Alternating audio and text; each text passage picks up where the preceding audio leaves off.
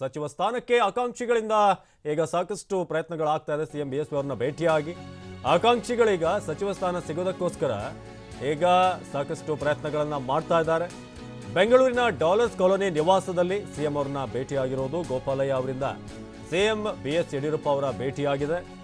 ಈಗ ಸಚಿವ ಸಂಪುಟ ವಿಸ್ತರಣೆ ಇನ್ನೇನು ಸ್ವಲ್ಪ ದಿನದಲ್ಲೇ ಆಗುತ್ತೆ ಅನ್ನೋ ನಿರೀಕ್ಷೆ ಇರೋದ್ರಿಂದ ಈಗ ಆಕಾಂಕ್ಷಿಗಳು ಸಿಎಂ ಅವ್ರನ್ನ ಭೇಟಿಯಾಗಿ ಈ ಬಗ್ಗೆ ಚರ್ಚೆ ನಡೆಸೋದಕ್ಕೆ ಅಲ್ಲಿಗೆ ಬರ್ತಾ ಇದ್ದಾರೆ. ಜೊತೆಗೆ ಗೋಪಾಲಯ್ಯ ಅವರು ಬಂದ ಬಳಿಕ ಡಾಕ್ಟರ್ ಕೆ ಸುಧಾಕರ್ ಅವರು ಕೂಡ ಸಿಎಂ ಅವ್ರನ್ನ ಭೇಟಿಯಾಗಿದ್ದಾರೆ. ಗೋಪಾಲಯ್ಯ ಮಹಾಲಕ್ಷ್ಮಿ ಲೇಔಟ್ನಲ್ಲಿ ಈ ಬಾರಿ ಬಿಜೆಪಿಯ ಒಂದು ಪಕ್ಷದಿಂದ ಟಿಕೆಟ್ ಅನ್ನ ಪಡೆದು ಗೆದ್ದಿರುವಂಥ ಅಭ್ಯರ್ಥಿ, ಗೆದ್ದಿರುವಂಥ ಈಗ ಶಾಸಕರಾಗಿದ್ದಾರೆ.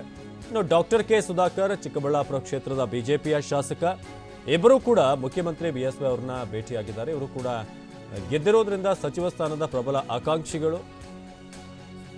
ಬೆಂಗಳೂರಿನ ಡಾಲರ್ಸ್ ಕಾಲೋನಿ ನಿವಾಸದಲ್ಲಿ ಭೇಟಿಯಾಗಿ ಒಂದಷ್ಟು ಮಾತುಕತೆ ಮಾಡಿದ್ದಾರೆ. ಯಾಕಂದರೆ ಒಂದು ಕನ್ಫರ್ಮೇಷನ್ ಅನ್ನೋದು ಬೇಕಾಗಿರುತ್ತೆ. ಒಂದಷ್ಟು ಡೌಟ್ಫುಲ್ ಆಗಿ ಇರುತ್ತೆ ಕೆಲವೊಂದು ವಿಚಾರದಲ್ಲಿ. ಆದರೆ ಈಗಾಗಲೇ ಭರವಸೆ ಕೊಟ್ಟಿರೋ ಹಾಗೆ ಗೆದ್ದಿರುವಂಥ ಎಲ್ರಿಗೂ ಕೂಡ ಸಚಿವ ಸ್ಥಾನ ಸಿಗುತ್ತೆ ಅನ್ನೋ ಒಂದು ಅಭಯ ಸಿ ಅವರ ಕಡೆಯಿಂದ ಪದೇ ಪದೇ ಸಿಗ್ತಾ ಇದೆ. ಆದರೂ ಕೂಡ ಈ ಕೊನೆ ಹಂತದಲ್ಲಿ ಭೇಟಿಯಾಗಿ ಒಂದಷ್ಟು ಮಾತುಕತೆ ನಡೆಸೋದಕ್ಕೆ ಮಹಾಲಕ್ಷ್ಮಿ ಲೇಔಟ್ನ ಶಾಸಕರಾದಂಥ ಗೋಪಾಲಯ್ಯ ಇನ್ನೊಂದು ಕಡೆ ಚಿಕ್ಕಬಳ್ಳಾಪುರದ ಶಾಸಕರಾದಂಥ ಡಾಕ್ಟರ್ ಕೆ ಸುಧಾಕರ್ ಇಬ್ಬರೂ ಕೂಡ ಹೋಗಿ ಭೇಟಿ ಮಾಡಿ ಮಾತುಕತೆ ನಡೆಸಿದ್ದಾರೆ.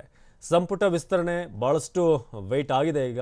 ಒಂದು ತಿಂಗಳಕ್ಕಿಂತ ಹೆಚ್ಚಾಗಿ ಈಗ ಕಾದಿರುವಂಥದ್ದು ಆಗಿದೆ.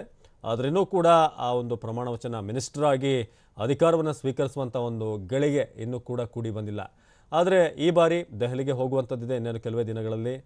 ಫೈನಲಿ ಇವರೆಲ್ಲರೂ ಕೂಡ ಮಿನಿಸ್ಟರ್ ಆಗುವಂಥ ಆ ಒಂದು ಕ್ಷಣ ಬರುತ್ತೆ ಅನ್ನೋ ಒಂದು ವೇಟಿಂಗ್ನಲ್ಲಿದ್ದಾರೆ ಈ ನಿಟ್ಟಿನಲ್ಲಿ ಈಗ ಗೋಪಾಲಯ್ಯ, ಡಾಕ್ಟರ್ ಕೆ ಸುಧಾಕರ್ ಇಬ್ಬರೂ ಕೂಡ ಧವಳಗಿರಿ ನಿವಾಸದಲ್ಲಿ ಮುಖ್ಯಮಂತ್ರಿ ಬಿ ಎಸ್ ಯಡಿಯೂರಪ್ಪ ಅವ್ರನ್ನ ಭೇಟಿಯಾಗಿ ಮಾತುಕತೆ ನಡೆಸಿದ್ದಾರೆ. ಹಾಗಾಗಿ ಗೆದ್ದಂಥ ಎಲ್ಲ ಹನ್ನೆರಡು ಮಂದಿಗೂ ಕೂಡ